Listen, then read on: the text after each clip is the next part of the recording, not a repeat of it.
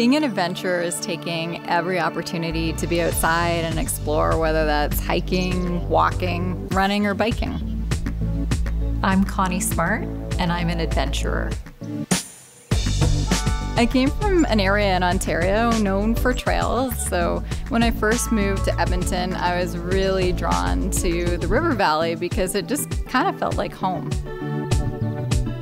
I remember being so amazed that the trails were so interconnected and that they could have just kept going forever. And that's when I discovered Edmonton has the longest stretch of connected parkland of any city in North America. A great section of trail, and really one of my favorites, is the one that runs from Hawrelak Park through to Laurier Park. You get to cross a footbridge, which is always a lot of fun, and I just like to see people out on the bridge and stopping and taking in the view.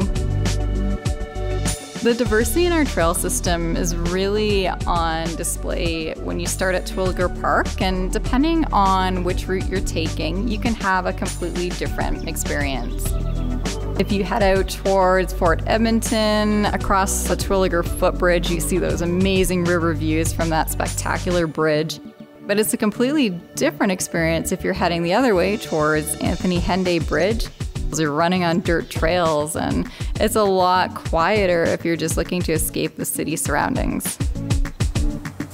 I had a friend visiting from Ottawa a couple of years ago, and we took the funicular from downtown. We just walked right out onto that lookout. Not only does this give you a unique view of the downtown skyline, but you're also elevated right above the river, and you have easy access to the downtown trails below you really feel a real sense of adventure and you just want to get out there and you want to go exploring.